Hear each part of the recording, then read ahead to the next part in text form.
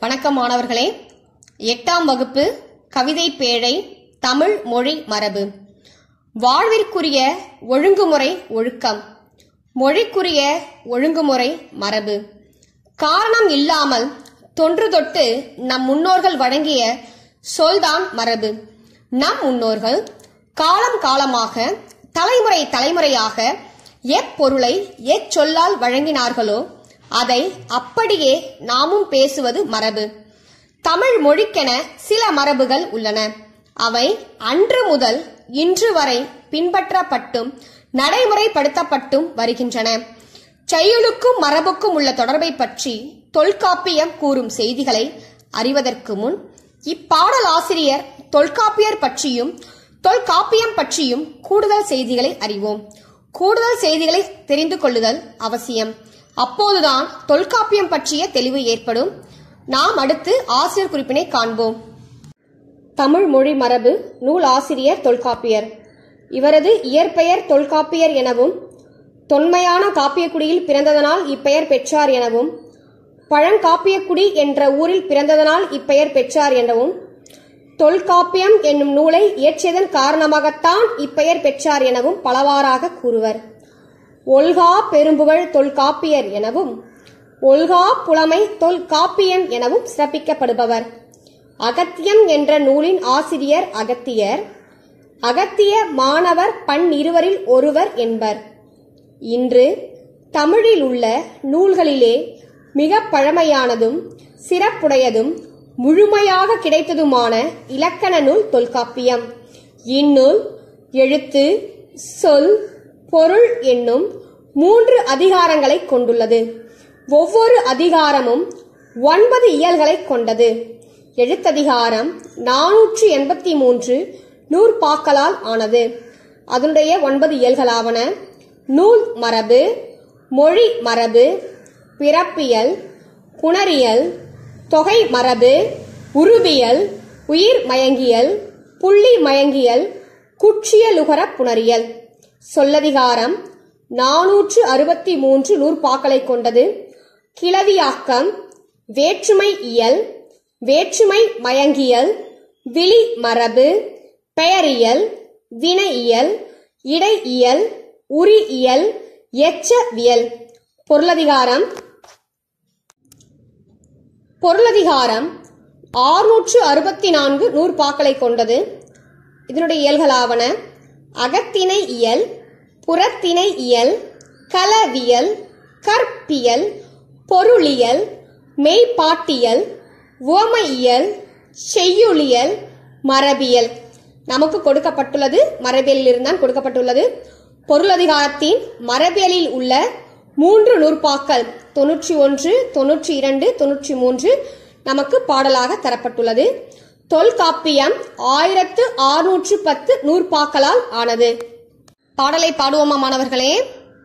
நீளம் தீ நீர்வழி விசும்போடு ஐந்தும் கலந்த மயக்கம் உலகம் ஆதலின் இருதினை ஐம்பாலியல் நெறி வழாமை திரியில் சொல்லொடு தழால் வேண்டும். மரபு நிலை திரிதல் செய்யுட்கு இல்லை. மரபு வழிபட்ட சொல்லின் ஆன. மரபு நிலை திரியின் பிரிது பிரிதாகும். மரபு நிலை திரியின் பிரிது பிரிதாகும். இப்பாடல் தலைப்பு தமிழ் மொழி மரபு. இப்பாடல் ஆசிரியர் தொல்காப்பியர் மாணவர்களே பாடலை என்னை தொடர்ந்து நீங்களும் பாட வேண்டும். நீளம் தீ நீர்வழி விசும்போடு ஐந்தும். கலந்த மயக்கம் உலகம் ஆதலின். இருதினை ஐம்பாலியல் நெறிவழாமை திரியில் சொல்லொடு தழால் வேண்டும். மரபு நிலை திரிதல் செய்யுட்கு இல்லை. மரபு வழிபட்ட சொல்லின் ஆன. மரபு நிலை திரியின் பிரிது பிரிதாகும். மரபு நிலை திரியின் பிரிது பிரிதாகும். இப்பொழுது சேர்ந்தே பாடுவோமா? நிலம் தீ நீர் வலி விசும்போடு ஐந்தும் கலந்த மயக்கம் உலகம் ஆதலின் இருதினை ஐம்பால் நியல் நெறி வழாமை திரியில் சொல்லடு தழால் வேண்டும். மரபு நிலை திரிதல் செய்யுட்கு இல்லை. மரபு வழிபட்ட சொல்லின் ஆன மரபு நிலை திரியின் பிரிது பிரிதாகும். மரபு நிலை திரியின் பிரிது பிரிதாகும். இப்பாடல் தலைப்பு தமிழ் மொழி மரபு. இப்பாடல் ஆசிரியர் தொல்காப்பியர் பாடற் பொருளை பார்ப்போம். நிலம் தீ நீர் வலி விசும்போடு ஐந்தும் கலந்த மயக்கம் உலகம் ஆதலின். நிலம் தீ நீர் வழி விசும்போடு ஐந்தும் கலந்த மயக்கம் உலகம் ஆதலின். ஐம்பூதங்களால் ஆன கலவையே இவ்வுலகமாகும். ஐம்பூதங்கள் என்பது நிலம் நீர் தீ காற்று வானம் என்பதாகும்.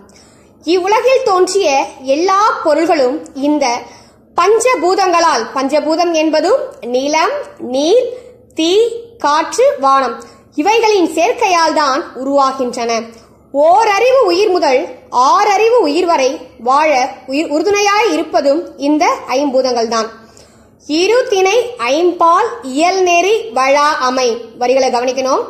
இருதினை ஐம்பால் இயல் நெறி வழா அமை. திரிவில் சொல்லொடு தழாள் வேண்டும். இருதினை ஐம்பால் இயல்நெறி வழாமை திருவியில் சொல்லொடு தழாள் வேண்டும். உலகில் உள்ள பொருட்களை இரு திணைகளாகவும் இரு திணை என்பது இரண்டு குடல் திணை என பிரிக்கலாம். இந்த இரண்டு திணை என்னன்னு பாத்தீங்கன்னா உயர்திணை அக்ரிணை. மனிதர்கள் தேவர்கள் உயர்திணை என்றும் அவர்கள் அல்லாத மற்றவை அக்ரிணை என்றும் சின்ன வகுப்புல படிச்சிருக்கோம். இந்த இரு திணைகளாகவும் ஐம்பால்களாகவும் இந்த ஐந்து பால்கள் என்பது ஆண் பால் பெண் பால் பலர்பால் ஒன்றன் பால் பலவின் பால். ஆகிய ஐந்து பால்களாகவும் பாகுபடுத்தி கூறுதல் நம் தமிழ் மொழியின் சிறப்பு அதுவே நம் தமிழ் மரபு.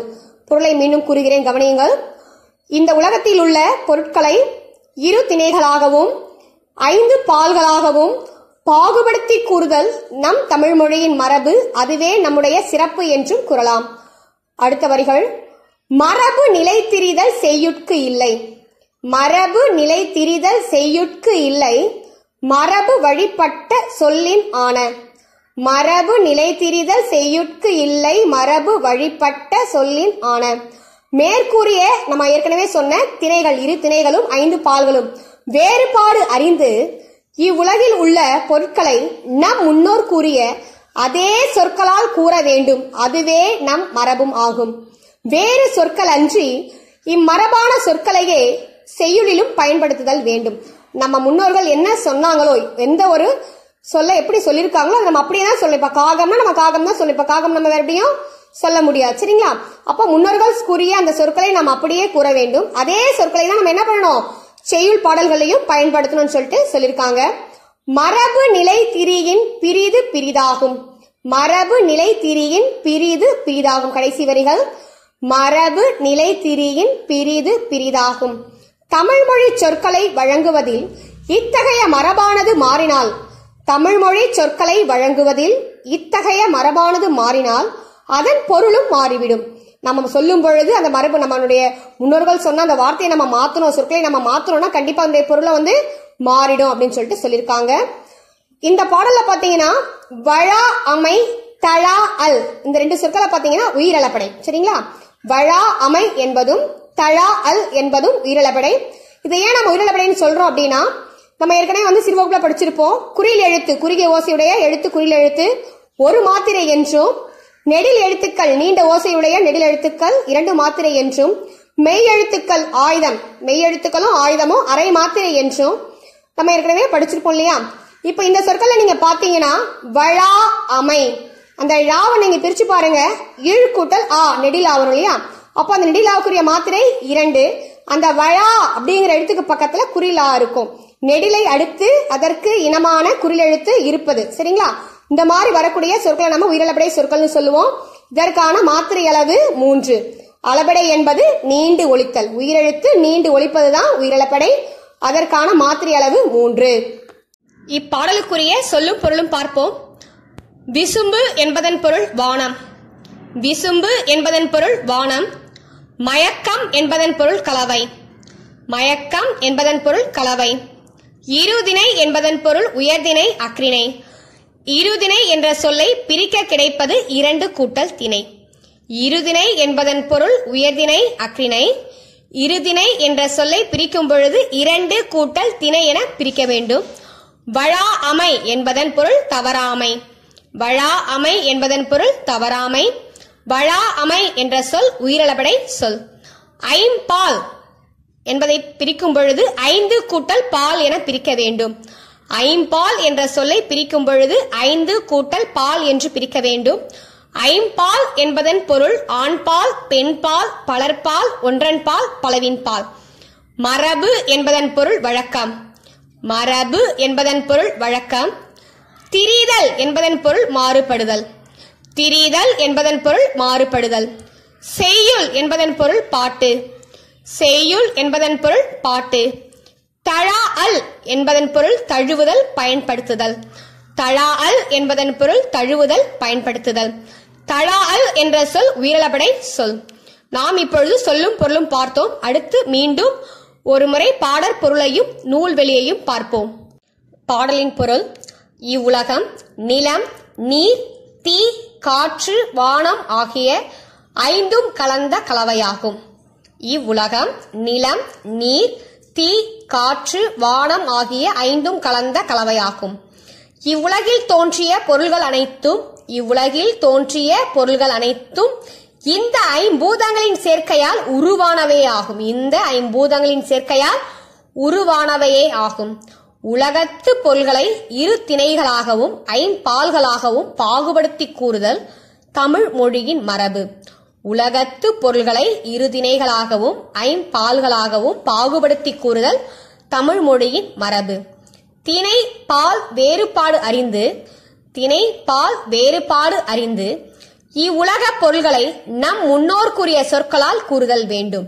திணைப்பால் வேறுபாடு அறிந்து இவ்வுலக பொருள்களை நம் முன்னோர்க்குரிய சொற்களால் கூறுதல் வேண்டும். இம்மரபான சொற்களையே செய்யுளிலும் பயன்படுத்தல் வேண்டும். இம்மரபான சொற்களையே செய்யுளிலும் பயன்படுத்துதல் வேண்டும். தமிழ்மொழி சொற்களை வழங்குவதில் இம்மரபு மாறினால் பொருள் மாறிவிடும்.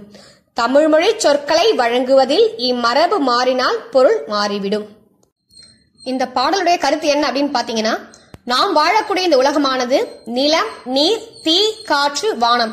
இந்த ஐந்துமே சேர்ந்த சேர்க்கை தான் நாம் வாழக்கூடிய இந்த உலகம் என்றும் இந்த ஐந்து என்னுடைய சேர்க்கையினால உருவாகக்கூடிய பொருட்களை நம்முடைய முன்னோர்கள் இரண்டு திணைகளாகவும் ஐந்து பால்களாகவும் பிரிச்சு வச்சிருக்காங்க. சரிங்களா? இவ்வாறாக அவர்கள் பிரித்து கூறியதை நாம் என்ன சொல்றோம்? நம்ம தமிழ் மொழியுடைய மரபு அப்படின்னு சொல்றோம்.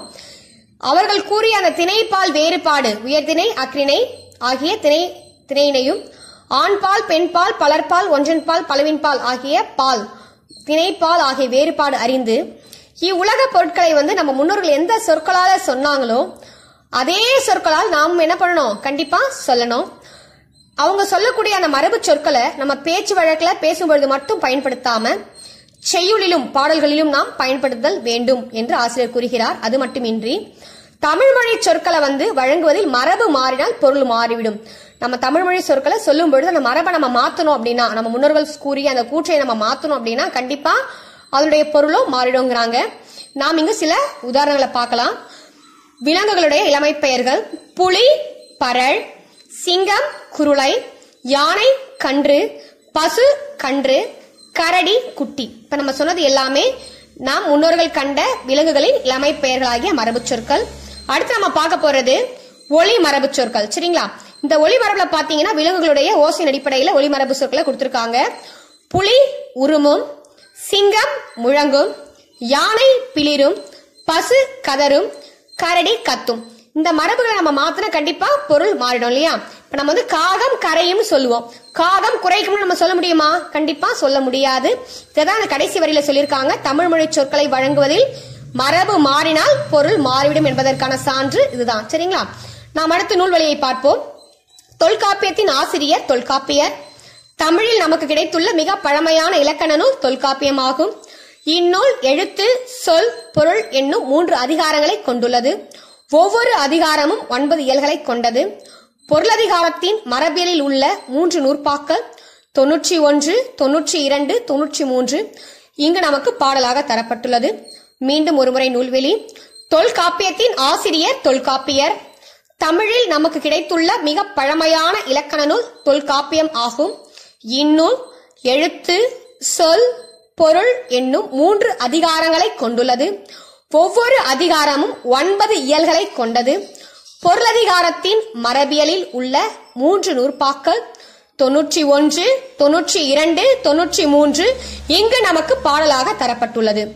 நாம் இன்று தமிழ் மொழி மரபு பாடலையும் பாடற் பொருளையும் பாடலுடைய நூல்வெளியையும் இந்த நூல்வெளியில பாத்தீங்கன்னா தொல்காப்பியர் பற்றிய குறிப்புகளையும் தொல்காப்பியம் பற்றிய குறிப்புகளையும் நாம் கூடுதல் செய்திகளில் கண்டோம். அது மட்டுமின்றி உங்கள் பாடப்புத்தகத்தில் உள்ள நூல்வெளியும் நாம் இன்று கண்டோம். இன்று நாம் கண்டதில் நூல் வெளியையும் பாடற் பொருளையும் நீங்கள் அவசியம் எழுதி பார்க்க வேண்டும் படித்து எழுதி பார்க்க வேண்டும். இன்று உங்களுடைய செயல்பாடு என்ன அப்படின்னா நம் முன்னோர்கள் கண்ட மரபு சொற்களை ஏ ஃபோர் தாளில் நீங்கள் எழுதி வர வேண்டும். கண்டிப்பாக நாம் மரபு சொற்களை தெரிதல் அவசியம். இந்த வகுப்பு இன்று இத்துடன் முடிவடைகிறது. மீண்டும் அடுத்த வகுப்பில் சந்திப்போம். நன்றி.